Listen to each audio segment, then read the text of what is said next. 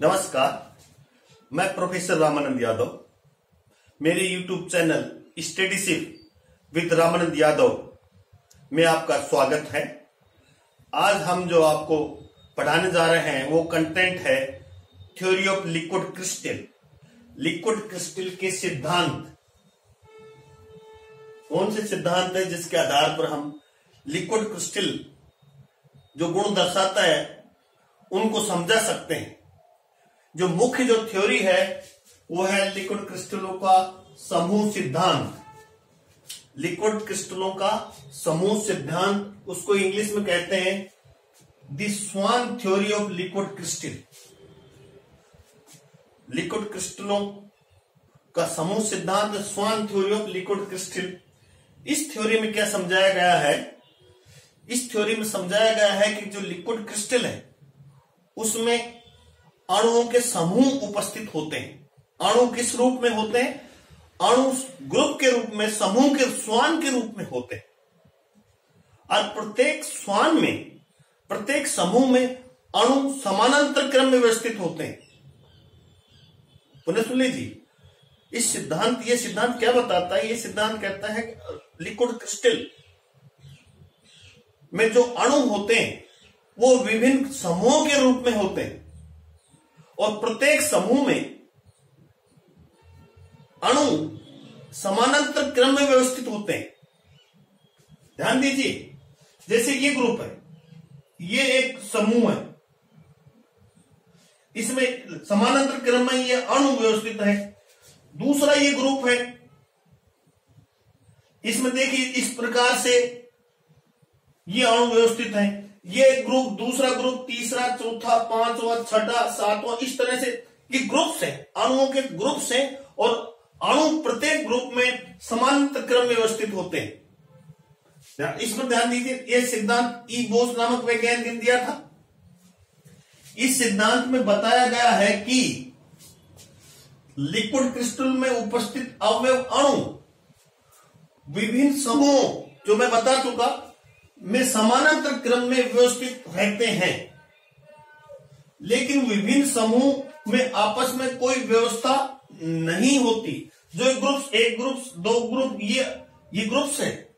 इनमें कोई निश्चित व्यवस्था नहीं होती। कोई व्यवस्था नहीं होती। कोई किस रूप में होता है कि, किसी डायरेक्शन में होता है कोई किस डायरेक्शन में रहता है। प्रत्येक समूह एक लघु क्रिस्टल की भांति आचरण करता है। प्रत्येक समूह एक लघु क्रिस्टल की भांति व्यवहार करता है, आचरण करता है। और यह समूह लिक्विड क्रिस्टल के संपूर्ण भाग में अव्यवस्थित रूप से फैले रहते हैं। व्यवस्थित रूप से कोई इधर है, कोई इधर है, कोई डायरेक्शन इधर है, किसी डायरेक्शन इधर है। ये पूरे के पूरे लिक्विड क्रिस्टल में ये समूह अव्यवस्थित रूप से फैले रहते हैं।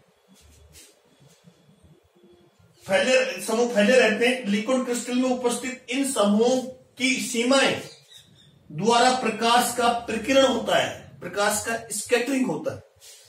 एक समूह, दूसरा समूह, तीसरा समूह।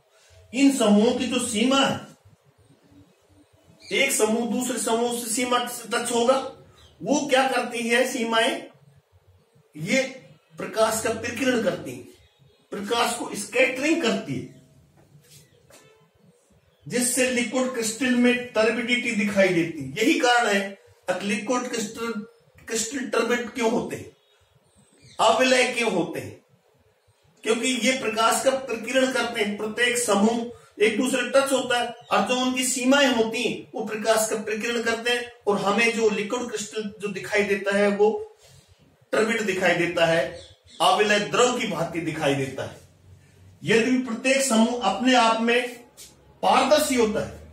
ध्यान दीजिए, प्रत्येक समूह अपने आप में तो पारदर्शी होगा ट्रांसपेरेंट लेकिन जो संपूर्ण द्रव होता है, जो लिक्विड क्रिस्टल कहलाता है, आविल द्रव है, उसमें टर्बिडिटी रहती है। कारण क्या है? जो प्रत्येक समूह है, उनकी सीमाएँ एक दूसरे से टच होती है, वो प्रकाश का प्रकीर्ण करती है। संपूर्ण द्रव क्रिस्टल इसी प्रकीर्ण के कारण हमें कैसे दिखाई देता है? टर्बिड लिक्विड दिखाई देता है। आप समझ गए नहीं कि प्रकाश का प्रकीर्ण कैसे करते हैं? समूह में रहते हैं। प्रत्येक समूह अपने आप में तो पारदर्शी होता है, लेकिन जब प्रत्येक समूह संपूर्ण द्रोव में फैले रहते हैं, अव्यवस्थित रूप से तो उनकी सीमाओं से प्रकाश का प्रकीर्ण होता है। हमें ये टर्बिड आवल द्रव दिखाई देता है। जैसे हम इनका टेम्परेचर बढ़ाते हैं, उन्हें सुन लीजिए, इसका जब जैसे टेम्परेचर बढ़ाते हैं लिक्विड क्रिस्टल के अणु की गति निरंतर बढ़ती जाती है। जो लिक्विड क्रिस्टल है, इनकी गति क्या होती है? बढ़ती जाती है। जिसके परिणाम स्वरूप विभिन्न समूहों के अणु एक दूसरे में मिलते रहते हैं। जैसे जैसे टेम्परेचर बढ़ाते हैं तो टेम्परेचर बढ़ाने से क्या होगा? अणु गतिशील हो जाएगा। निरंतर गति करेगा। निरंतर गति करेगा तो इसके अणु इसमें मिल जाएँगे, इस समूह के अणु इसमें मिल जाएँगे। मिलते रहते हैं, जिससे समूह का आकार ताप बढ़ाने के साथ साथ छोटा होता लगता है। जैसे जैसे टेम्परेचर बढ़ाते हैं तो अणु की गति बढ़ती। अणु एक ग्रुप से दूसरे ग्रुप में प्रवेश करते हैं। और टेम्परेचर बढ़ाते हैं तो इस प्रकार अणु का आकार छोटा होता जाता है। और एक निश्चित ताप पर समूह बहुत छोटे हो जाते हैं। ये ग्रुप है, ये बहुत छोटे हो जाते हैं।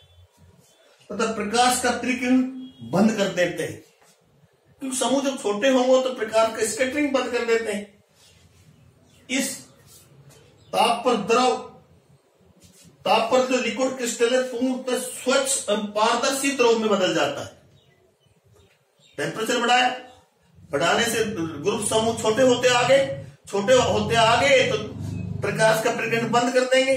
और एक ताप पर ये लिक्विड क्रिस्टल बिल्कुल ट्रांसपेरेंट द्रव, पारदर्शी द्रव, जिसको हम सामान्य द्रव कह सकते हैं, में बदल जाता है। ये स्वच्छ द्रव क्या होंगे अब? समदैशिक होंगे आइसोट्रोपिक होते हैं। आप जानते हैं स्वच्छ द्रव, जो द्रव होते हैं, समदैशिक होते हैं, जबकि लिक्विड क्रिस्टल क्या होता है? विषमदैशिक होता है।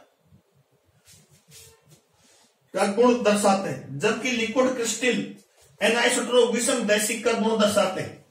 सभी जानते हैं, हम बता चुके लिक्विड क्रिस्टल में उपस्थित प्रत्येक समूह में कई अणु एक दिशा विशेष में समांतर रूप से व्यवस्थित रहते हैं।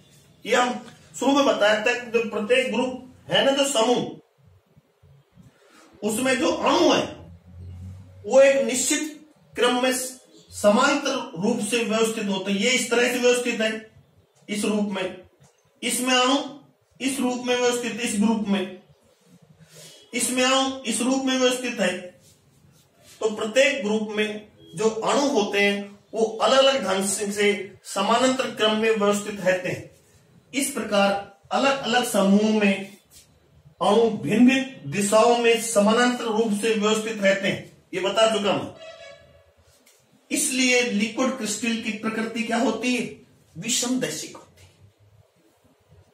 यही कारण है अगर लिक्विड क्रिस्टल विषम दैशिक होते हैं क्योंकि जो जो ग्रुप है इसमें जो लिक्विड ग्रुप में विभिन्न ग्रुप्स हैं प्रत्येक ग्रुप में अणु अलग अलग क्रम से समांतर क्रम में व्यवस्थित रहते हैं। कोई इस रूप में होता है कि इस, इस रूप में होता है कोई इस रूप में होता है। जिस कारण से ये विषम दैशिकता दर्शाते हैं। यदि इस स्वच्छ द्रव को ठंडा किया जाए, किस रूप में चेंज होगा ये? अब इस टेम्परेचर बढ़ाने पर ये लिक्विड क्रिस्टल किसमें चेंज हो गया? स्वच्छ द्रव में चेंज हो गया। यदि अब स्वच्छ द्रव को ठंडा किया जाए तो उसी ताप पर स्वच्छ द्रव में टर्बिडिटी आ जाएगी और वह पुनः लिक्विड क्रिस्टल कहलाएगा। वापिस यदि हम इसको ठंडा करें। तो उसी ताप पर वापस इसमें क्या आ जाएगी? टर्बिडिटी आ जाएगी। और वापस वह लिक्विड क्रिस्टल में परिवर्तित हो जाता है। तो ये ग्रुप थ्योरी थी, समूह सिद्धांत लिक्विड क्रिस्टलों किस तरह से आणु इसमें लिक्विड क्रिस्टल में ग्रुप में रहता है, स्वाम के रूप में रहता है। और प्रत्येक ग्रुप में अणु समानांतर क्रम में व्यवस्थित रहते हैं। ये ग्रुप इस प्रकार से व्यवस्थित है, इस ग्रुप में इस प्रकार से व्यवस्थित है, ये इस तरह से दूसरा ग्रुप है। इस तरह से ये ग्रुप पूरे क्रिस्टल में फैले रहते हैं और अव्यवस्थित रूप से फैले रहते हैं। जिस कारण से ये प्रकाश का प्रकीर्ण करते हैं, इसी वजह से लिक्विड क्रिस्टल क्या होते हैं? विषम दैसिक होते हैं। तो ये थ्योरी बिल्कुल साफ़ साफ़ बता रही किस तरह से एक लिक्विड क्रिस्टल होता है। आप क्लियर समझ गए, ये सिद्धांत के आधार पर हम लिक्विड क्रिस्टल के जो प्रॉपर्टीज़ है, वो आराम से समझा सकते हैं, ये प्रकीर्ण क्यों करते हैं, ये विषम दैसिक क्यों होते हैं। आज इतना ही आप आराम से देख लीजिए इस टॉपिक को।